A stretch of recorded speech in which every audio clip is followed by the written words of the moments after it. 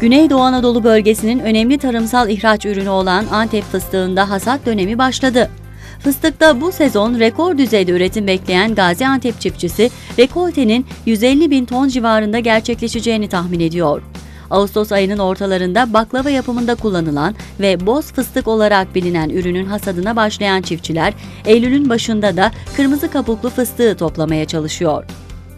Sabahın erken saatlerinde işe koyulan çiftçiler akşam saatlerine kadar fıstık topluyor. Sıcak hava çalışmayı zorlaştırsa da işin imece usulüyle yapılması çiftçiyi rahatlatıyor. Gaziantep Ticaret Borsası Başkanı Ömer Çelik, bu yıl rekortenin yüksek olacağını tahmin ettiklerini söyledi.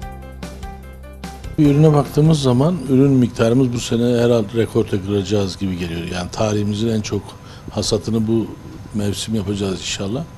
Bu da sevindirici bir şey. Tabii çiftçilerimizin daha fazla mal üretmesi, çiftçilerimizin e, parasal olarak daha güç kazanmasını gösterir ki bu da Antep fıstığına daha bir önem verir o zaman.